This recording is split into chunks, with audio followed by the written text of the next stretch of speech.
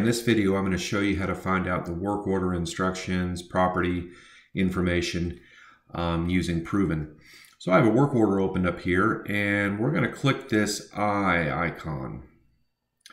Okay, and then we're going to click this link. If you're an iPhone user, you have to hold this link with your finger for a couple seconds and it will open up the, uh, the window that you're going to see. For the Droid, simply click on it and it's going to take us into the screen. But for the iPhone, just hold on to it.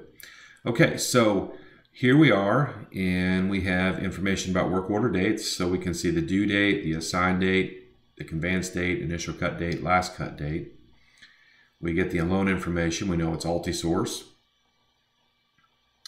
Property information, we get the address, city, state, zip.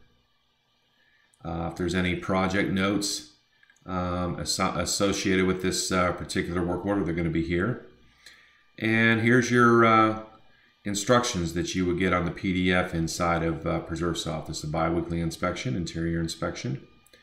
And so you can see here that by using this feature in Pruvan, you have access to basically the entire work order like you would have um, in PreserveSoft.